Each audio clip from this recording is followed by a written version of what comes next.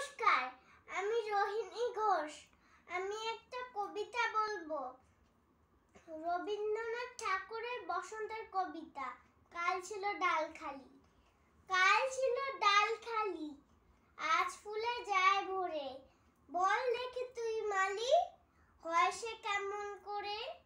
গাছের ভেতর থেকে করে ওরা যাওয়া আসা কোথা থাকে মুখ দেখে কোথায় যে ওদের বাসা থাকে ওরা কান পেতে, লুকানো ঘরের কোণে। ডাক পড়ে বাতাসেতে, কি করে সে ওরা শুনে?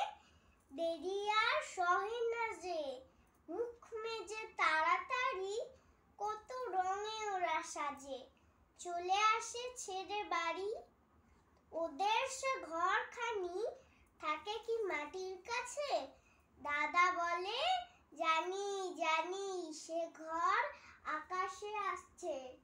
সেথা করে আসা যাওয়া নানা রঙা মেঘগুলি। আসে আলো আসে হাওয়া